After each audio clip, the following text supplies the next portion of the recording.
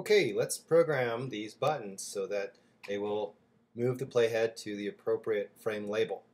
So we'll come up here to the Actions Labels layer and on that very first frame we'll open up the Actions panel and there are many ways of doing that. Uh, you can go to Window and then down to Actions or you can use the keyboard shortcuts or you can come over here to the Properties area and click on this little diagonal arrow.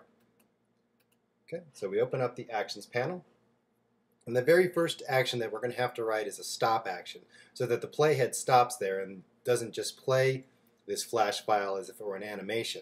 So we'll do that by typing in stop, open parentheses, close parentheses, semicolon, and return return, and we have our stop action so that when we test the movie now, it will just wait now, next thing we're going to do is talk, we're going to add an event listener to a certain button.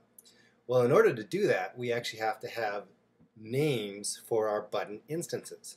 So let's do that. So we'll move the Actions panel out of the way for a second, and we'll come over here and we'll select each one. And if we select the same name, that's actually going to help us later on when we're trying to make our code a little simpler, and that'll make sense as we get to that point. But if we select Home, just over here in the properties area, the instance name, we'll call it home.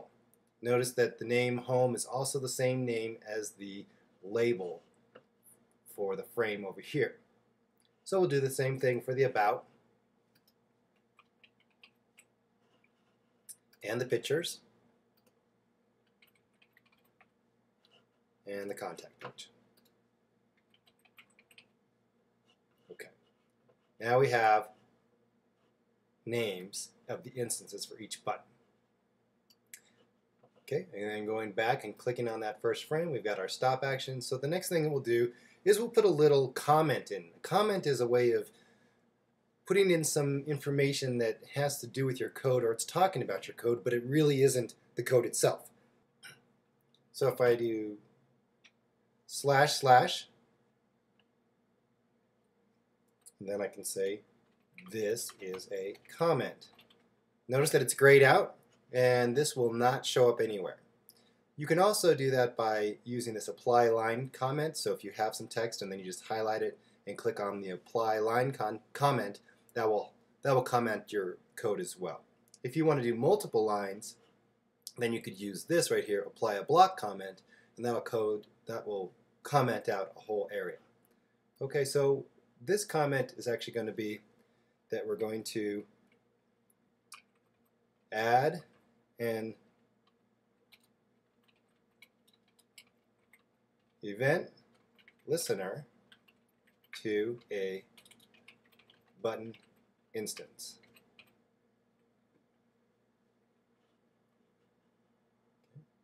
spell that right. Listen. Okay. All right, now we'll go return down and we'll go ahead and start to do that. An event listener is a way of sort of like adding ears, is the way I like to think about it, to the button so that the button's listening and waiting for something to happen. And what it's going to be waiting for is for a click to happen. So we'll go ahead and uh, add a event listener to one of the buttons. Now, if you don't remember the name of the buttons, you can always use this little target, insert target path. And if I click on that, we can see all of the things that we've added instance names to. So here's the about right here. See, it's just about. Okay, and you can use this, you could leave that, but we don't actually need that because we're talking, this means that we're referring to this flash file or this area that we're working with. Or if you're inside of a movie clip, it would be this movie clip. So all we really need is the about. So we'll copy that and then paste. And so about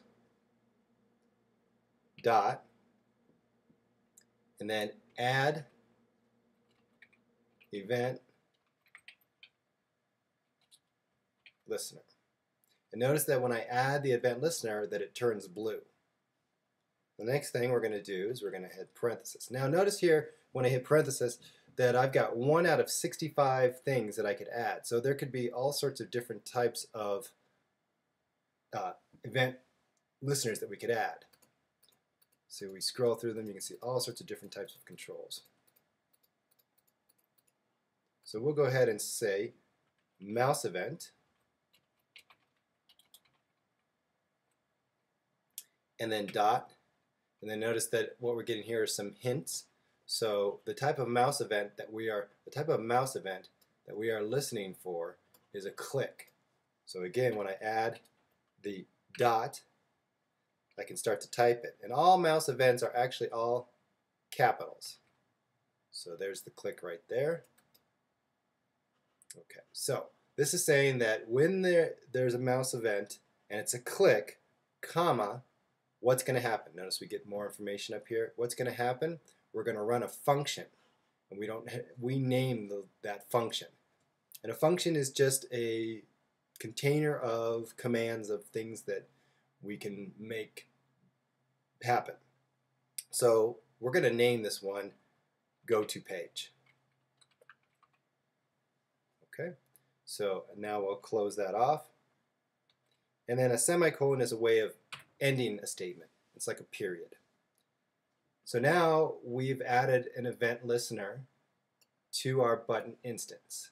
Here's our button instance, and we're adding the event listener, and the event listener that we're adding is that we're listening for a click, and once the click happens, we're going to run the function go to page. So let's go ahead and now write that function. So if I return down, we'll go ahead and write another comment here. So we're going to call this the create go to page function. It's just another way of helping us remember what we're doing, or if we're sharing this file with others, then this will help them out as well.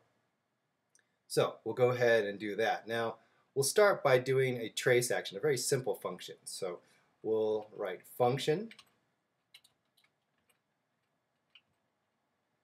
and then name that function is go to page. So you notice that we've got go to page, go to page, those are the same. So run this function and here's where we are defining that function. Okay. Function go to page and what type of thing is going to trigger this? So the event obj or the event object that's going to trigger this is a mouse event. Okay, so you see that it's a mouse event that is clicked and that's what we're listening for and we're just verifying here that yes it is a mouse event that's triggering this function. Mouse event click and then we'll close that off and now now we're set to add the curly braces. So when we add the curly braces we add one here, so that's opening curly brace, and then I like to return twice and do a close curly brace. And what happens in between these two curly braces, and you have to have the first opening and the closing one, whatever is put in here is the function. So we'll go ahead and just start by saying mm, trace, which is a very handy feature in Flash and also in other programs where we're just going to put something to the output window to verify that this function is actually working. And we'll say trace, and then we'll, in the parentheses, we'll just put a string, and by a string I mean just text. So we put quotes, and we could say that the about button was clicked. And then close parentheses, and now we are ready to test this. So we'll go ahead and give this a test by hitting Command Return or Control Return on the PC.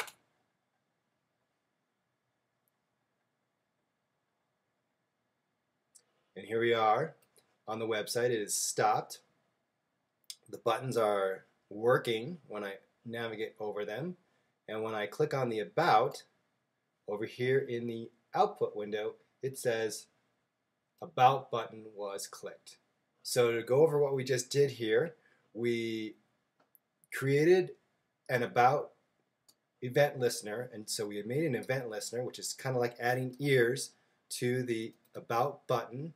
We told it to listen for a mouse event that was specifically a click, and once that happens, for it to fire off this function, go to page. Then down below here, we define the function, go to page. And we again indicated that this was going to be fired from a mouse event, a click. And then within the curly braces, we use the trace function to have this string about button was clicked right here in the output window. So it works. So in the next lesson, we'll get more sophisticated with this.